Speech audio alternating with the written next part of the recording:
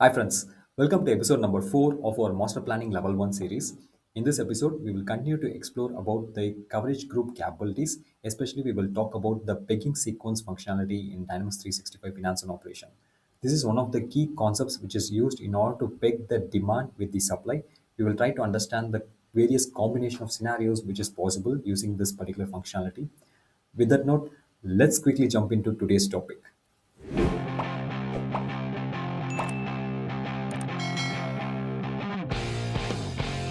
So let's quickly get into today's topic of uh, covering the remaining areas within coverage group and we will try to understand one of the important concept in coverage group in today's episode. So watch this video until end. Also make sure that you watch episode number 3 before getting into episode number 4. So as we are following this uh, agenda, uh, so today we will be covering in detail about the, the pending areas to be focused on coverage group. Then in the next episode, we will take talk about the time fences. So make sure that you subscribe to the channel D365 Talks and uh, follow and hit the bell icon to get notified whenever I post uh, videos related to the same. So coming back to our topic of uh, the next important concept regarding master planning, especially with respect to coverage group is the pegging sequence. Configuring the pegging sequence is very important because you are telling the system how to handle the um, existing supplies in terms of whenever you are pegging it with uh, pegging a particular demand with a supply, right? So pegging actually defines against each and every requirement what is the logic on which you want to align the supply or peg the supply right? So the master planning uses pegging sequence to determine which supply will cover which demand. So if you, if you have a demand for an item and you have a supply for the item and uh, how you want to peg the supply to respective demands right? What is the logic? And you define the sequence of it in the pegging sequence so you need to completely understand what is the sequence which is taken by the system based on the various options which are available in Dynamics 365 in order to configure this.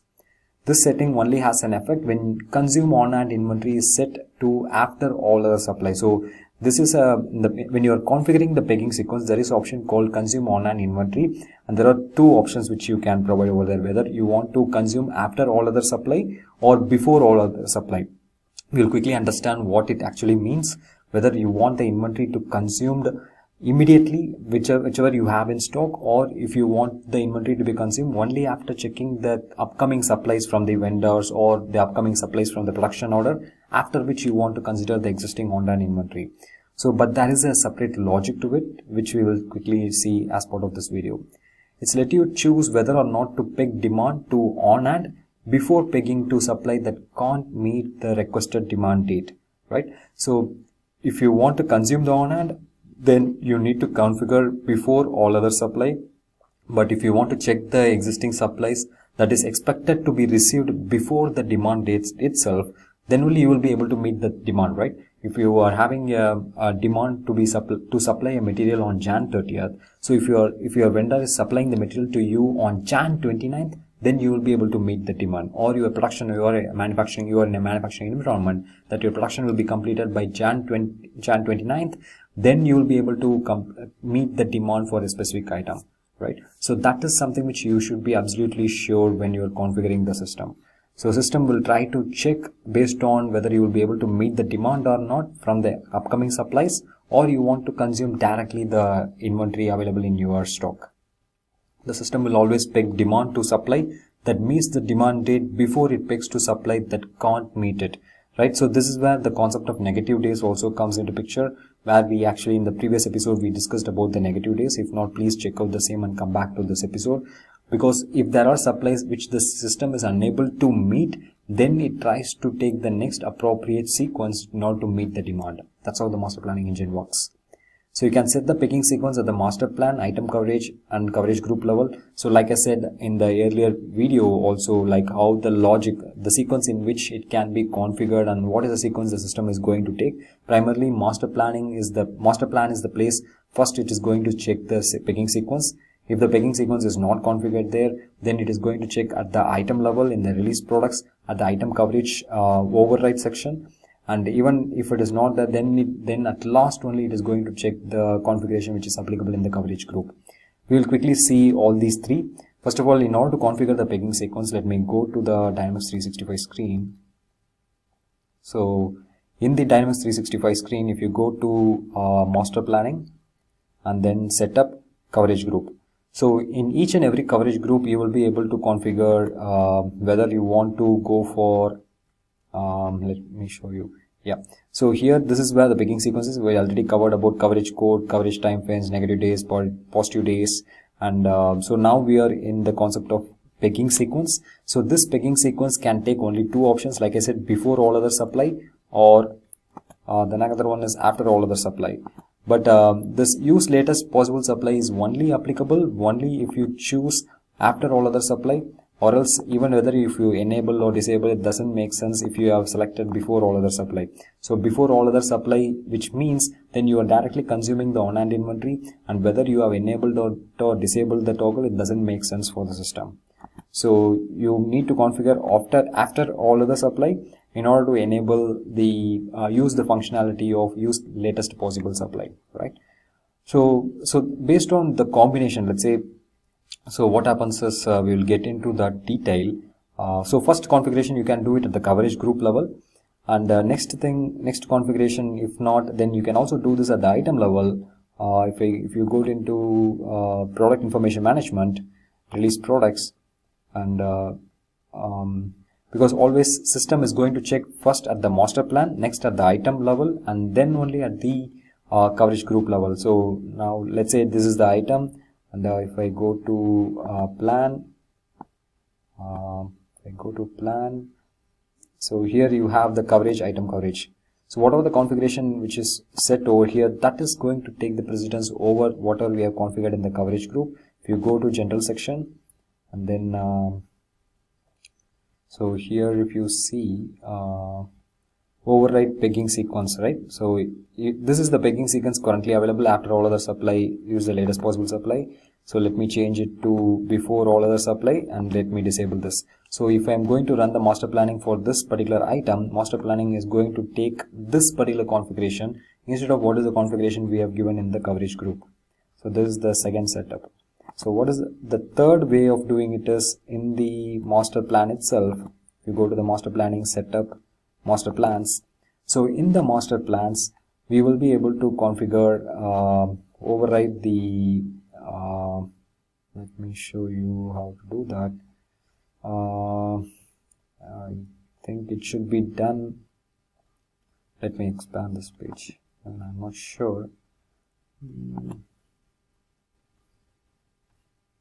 yeah I think it can be done at the general section itself. So if you want to override the pegging sequence just enable override pegging sequence. Then you have the two options over here uh, whether you want to consume it before all other supplies and uh, you have the option to use latest possible supply or not.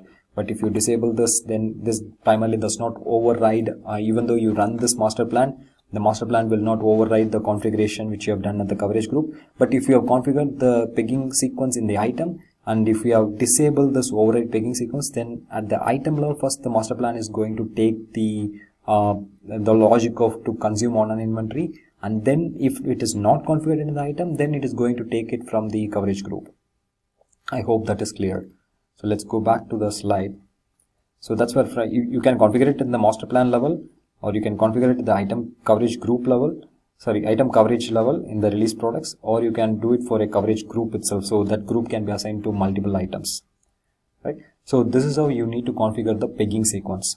But having said that the combination of the, the combination of configurations which are possible let's say um, so let me go to coverage group once again so there are four possible combinations, right? So I can keep the configuration as uh, after supply, use the latest possible supply, and then before all other supply, and then I can use, I can disable this toggle, or you can, I can use before all other supply and I can enable this toggle. So there are four possible outcomes for this configuration.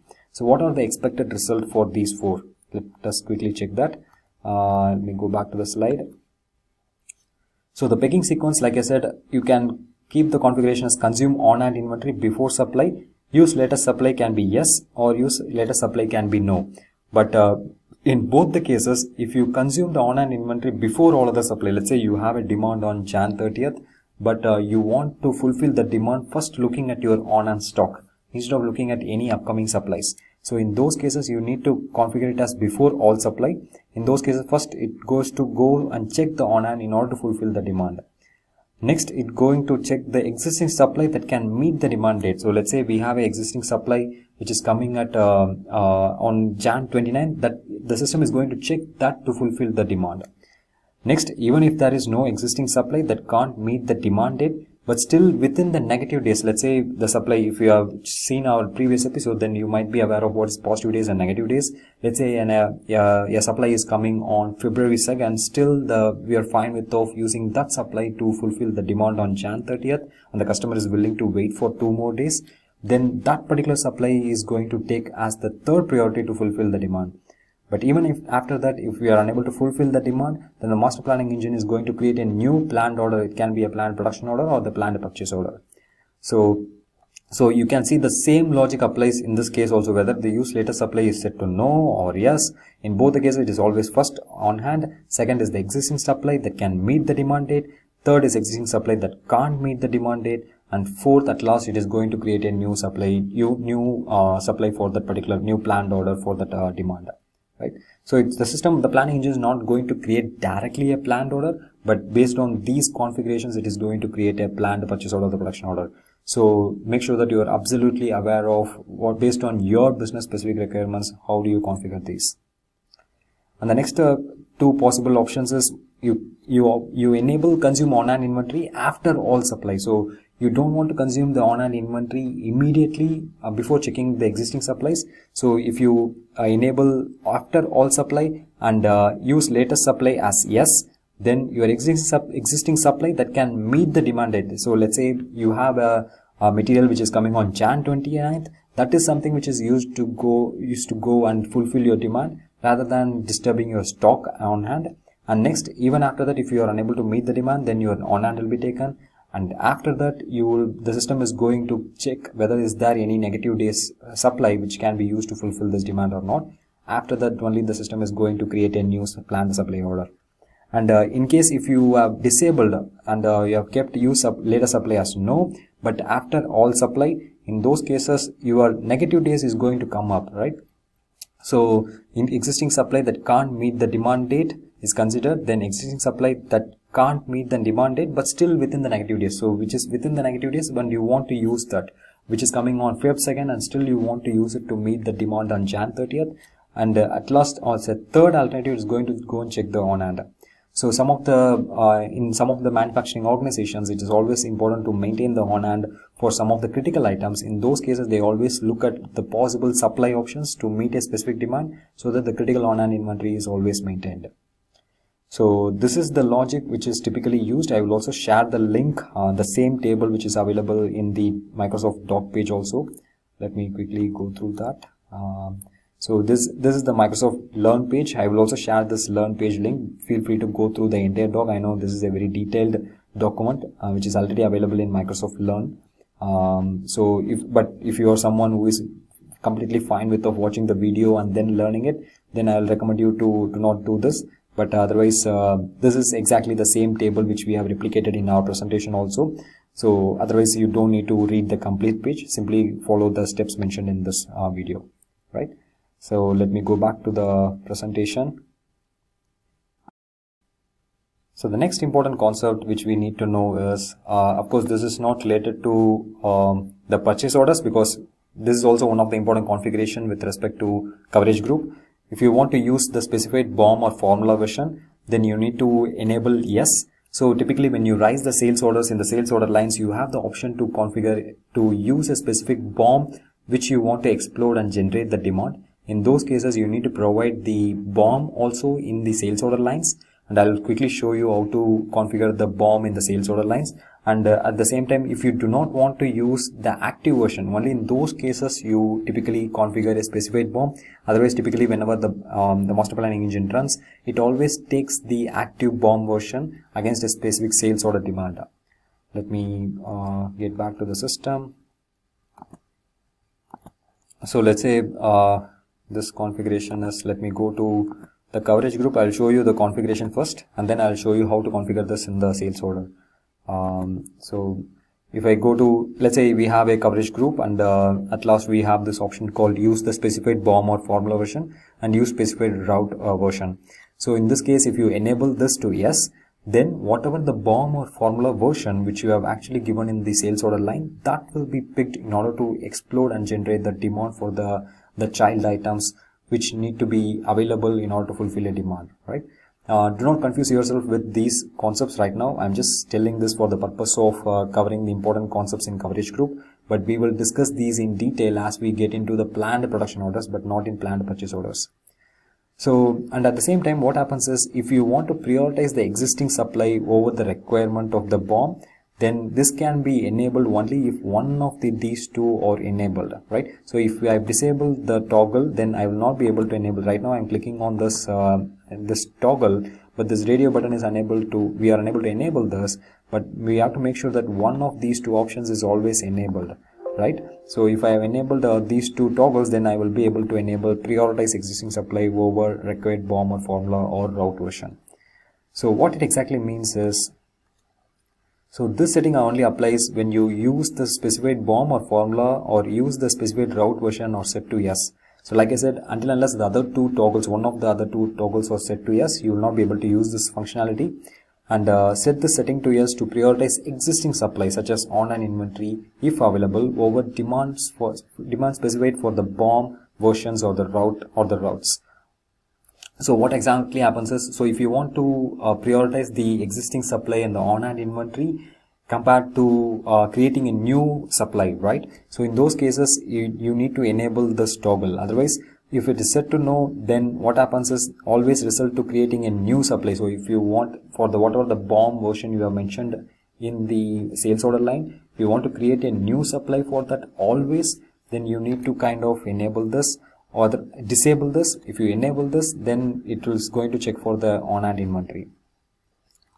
So so let's say if i have just enabled both then the system is always going to check what is the BOM and the route in the sales order line instead of always taking the active BOM version or the or the route version. Already we discussed about the BOM and the route version in our production control series if you want to get more details about it please do check out our BOM and uh, production and route version videos before coming to this. And uh, that's a very detailed uh, series of videos regarding the uh, discrete manufacturing processes that will definitely help you trust me. And the next one is uh, like I said if I want to prioritize make sure that you enable this or else simply disable that. But once you have enabled these to toggle you need to make sure that at the sales order line level you have always capturing the uh, BOM and the route versions so BOM IDs uh, for example if I go to sales order all sales orders um, let me open any of the sales order. I'm just randomly opening a sales order. Uh,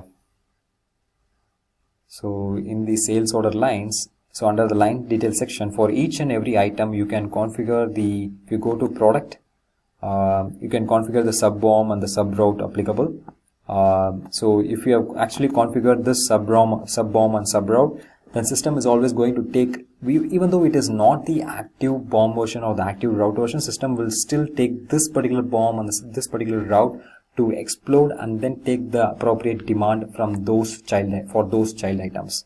So if you want that logic to be applied then you have to cover the um, the coverage group accordingly so all these are very complex configurations based on your business specific requirements. You need to configure that. Um, let me go back to master planning. Coverage group. Uh, so so that's about the basic configuration of how do you configure the pegging sequence use latest possible supply what are the four possible alternatives and then use a specific BOM route version and then uh, prioritize existing supply over the others right? So with that uh, we kind of coming to end of this episode. Probably in the next episode we will discuss in detail about the concept of time fence in coverage group and how this time fence is very important in terms of calculating the dates. That is something which we are going to see as part of our next episode. Make sure that you subscribe to the channel d365 talks or follow my profile in linkedin to get notified whenever i post videos related to dynamics 365 f&o see you soon in the next topic